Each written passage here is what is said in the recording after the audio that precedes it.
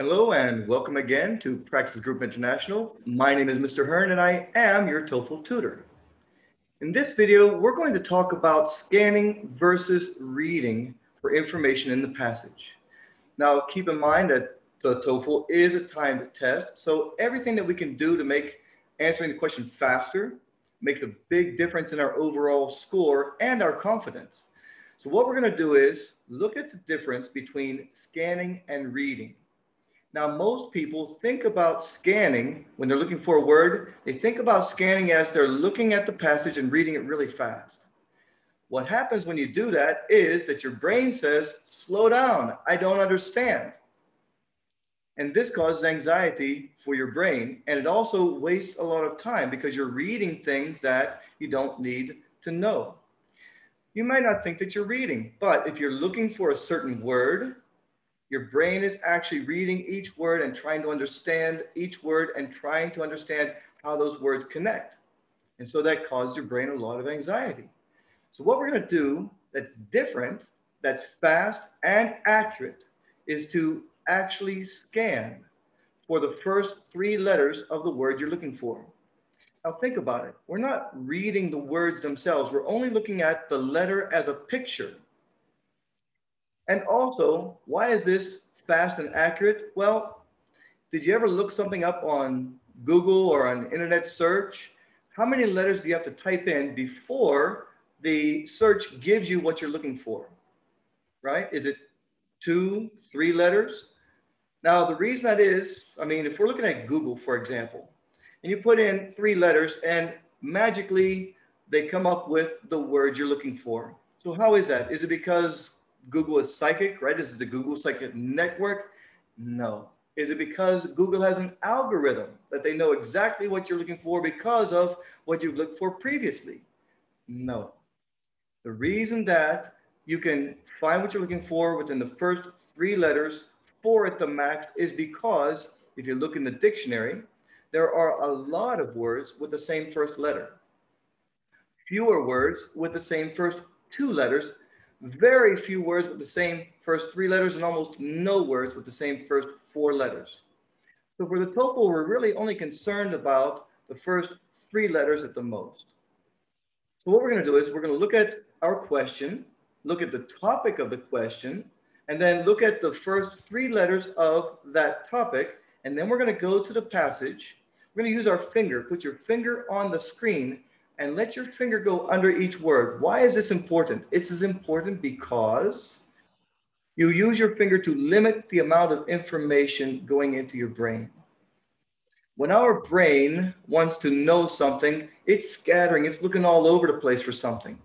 We have to limit, by using our finger, we limit how much information goes into our brain, and that makes it much faster and less confusing, right? Control, control, control. Speed comes with control. So let's see how this works.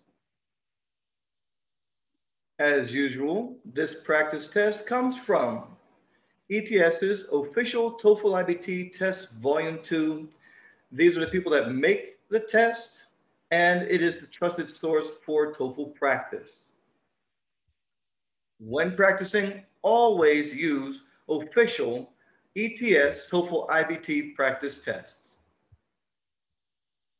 Let's take a look at a question that would give most test takers tremendous anxiety. Number 26, it's a long, complicated question. And we have a combination of two paragraphs that one would think they must read everything. So at first glance, this question would cause a tremendous amount of anxiety because there's so much to read. You would think this is going to take forever. I'll never be able to answer this question. I'm going to have to take this test again. A lot of things go through our mind when we see a question like this. But is it necessarily true that you have to read that much? Let's take a look at scanning versus reading. In the question, we identify the question as a detail question. What evidence supports? This word supports is giving us a strong indication that this is a detailed question. But what is the question asking about? The claim that the intensity of nestling baking calls is a good indicator of which offspring in a nest would most benefit from a feeding? What is this really about? What word will we look for? Because we see intensity of nestling begging calls, good indicator of this W word, which, that's the indication that that's what this question is about. Which offspring in the nest would most benefit from a feeding? So this is the part of the question we want to concentrate on. Which offspring in a nest would most benefit from a feeding? But what word in this sentence are we looking for? The object of the sentence is, would they benefit from a feeding? So benefit from a feeding. That's what it's about. Now, from there, what word is it really about? It's about the feeding. That's what they want to know. Who benefits from a feeding? So now I want to look at the first three letters of the word feeding. So if I go to the beginning of my passage up here, and remember, put your finger on the screen so that you can control how much information comes into your brain. We're looking for a word that begins with F-E-E. Immediately I find F-O, F-O, and I find benefit, but I'm not looking for benefit, I'm looking for feeding. So I have here, keep going on and on and on. I don't see feeding. I'm going on and on. Oh, there's an FO, that is not feeding. FO, not feeding. And keep on. Oh, there's FE, but it's fed, not feeding. Then continue on and continue on. Uh, there's FO again, no feeding. And fed, not feeding. And fed, not feeding parent birds, food, not feeding, and continuing on, food, not feeding, and continuing on. There's four again. Ah, feeding, the word feeding. Now I have my sentence. I found my sentence because I found my keyword. So now I've found my sentence that has the word feeding. That's what I'm looking for. And I read my sentence. Indeed, if you take the baby tree swallows out of the nest for an hour, feeding half the set and starving the other half. Where is the answer to my question? When the birds are replaced in the nest, the starved youngsters beg more loudly than the fed birds, and the parents feed the active beggars more than those who beg less vigorously. We're talking about intensity of nestling begging calls. And here we're talking about begging more loudly than the fed birds. So this sentence is answering my question.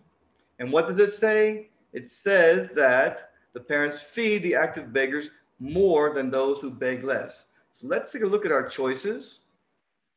Now that you know, you found your right sentence. Notice that we didn't have to read everything. We only found our word, read the sentence that contains that word, and then look for the information that actually answers the question. And we couldn't care less about the rest. So A says, when replaced in a nest with hungry robins, well-fed robins did not beg for food. Is that true? No, it says that the parent birds fed the active beggars more than those less vigorously. So that's wrong. Among B, B states among robin nestlings, the intensity of begging decreased the more the nestlings were fed. Does it say that? It says no. It says that the parents' birds fed the active beggars more than those with less vigorously. So that is wrong. About C? Hungry trees swallow nestlings begging louder than well-fed nestlings in the same nest. Hungry trees swallow nestlings beg louder. Well, is that what it says? Starved youngsters beg more loudly than the fed birds. That's possible. See, it's possible. I don't know if it's correct, but I know that it's possible because it's similar to what states in the passage. How about D? Hungry tree swallow nestlings continued to beg loudly until they were fed, whereas well-fed nestlings soon stopped begging. Is that what our sentence says? No, it says that the starved youngsters beg more loudly than the fed birds, and parent birds feed the active beggars more than those who beg less vigorously. So it's not about, there's nowhere where it says that the fed, uh, the well-fed nestlings soon stop begging. So D is not possible, making C our answer. Is this correct? Let's find out. We're looking at question number 26. Question number 26 says that C is the correct answer, which magically is the correct answer. Okay, so that's all for this video. I hope that this little skill helps you. Please develop this skill. Remember, use your finger. Put it along the bottom of the words to help guide you and to limit the amount of information going into your brain. Get good at finding out what is our question asking about. Look at that word. What are the first three letters of that word? And then scan not read, scan for those letters to find the word you're looking for. Once you've found the word you're looking for, you can read that sentence. Now, there's one more caveat to this. There may be more than one instance of that word in the passage. What do you do then? What if that word is in the passage two or three times? You're going to look at the sentence that contains that word and say, does this sentence relate to my question? If that sentence in the passage does not relate directly to your question, it is not the sentence you're looking for. So you'll abandon that one and go to the other sentence that has that same word. Okay, that's all for this video.